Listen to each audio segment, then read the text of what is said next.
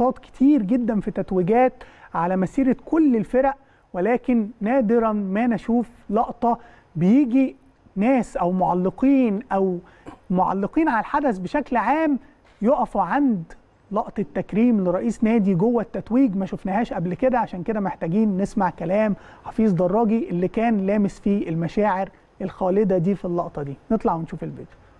كابتن وائل منذ حين عن صورة اللاعبين وهم يد كلهم لرئيسهم ولنجمهم ولتاريخهم ورصيدهم. الشخصية المحترمة محمود الخطيب كانت صورة رائعة جدا. الصورة التي صورة الاحتفالية التي انتهت بها أيضا حفل التتويج كانت رائعة أنا شخصيا وحتى كل اللي كانوا موجودين هنا لم يكونوا يتوقعون مثل هكذا نهاية واحتفالية بتتويج نادي الأهلي وبختام كأس السوبر لهذا الموسم. رمزهم وقائدهم وسيظل.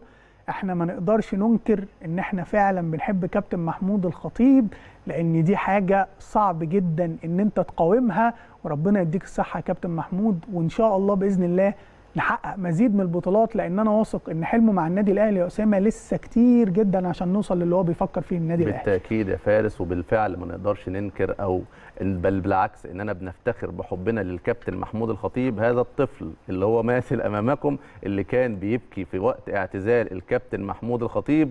كبرت أنا وهذا الطفل لم يكبر في حب الكابتن محمود الخطيب.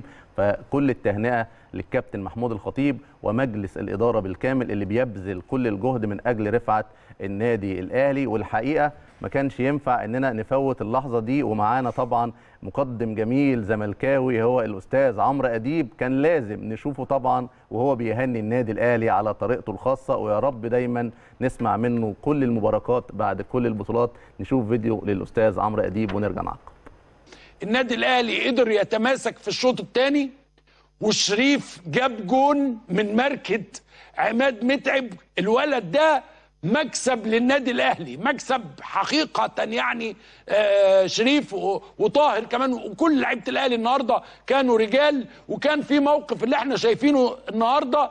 لو سمحت نرجع نرجع الصورة اللي ورا إن كل اللعيبة وهي طالعة على منصة التتويج كانت بتقلع الميدالية بتاعتها وتلبسها للأسطورة محمود الخطيب.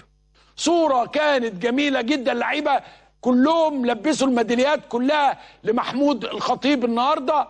الجمهور المصري في الدوحة كان مزينا للبطولة وكان اللاعب رقم 12 وحاجة جميلة بنهنئ النادي الأهلي على هذا الفوز العظيم الجميل. ومن الدوحة معانا الأستاذ طارق قنديل عضو مجلس إدارة النادي الأهلي. أهلا بيك يا فندم.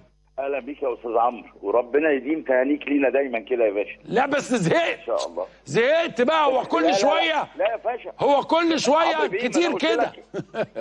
لا ما أنا قلت لك يا باشا إن شاء الله بالتعود هتبقى أهلاوي يا باشا. لا لا لا, أهلاوية. لا لا شوية بقى. تنحوا شوية بقى. سيبوا لنا دوري كاس كده. إن شاء الله ربك كريم. ربنا يديمها نعمة يا رب. والله حاجة جميلة جدا. ألف مبروك. آه، أنتوا. كنتوا بتمثلوا مصر النهارده. وأداء عظيم و... و... و... ومظهر مشرف.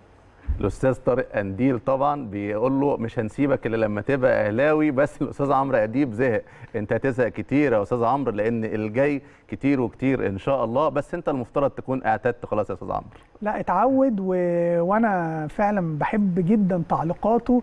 هو زملكاوي ولكن يعطي النادي الأهلي حقه وأي إنسان موضوعي هيكون ده لسان حاله لأن فعلا النادي الأهلي حاجة من الاثنين يا على الأقل تحترمه لو ما تقدرش تحبه لأن أنت غير منتمي ليه.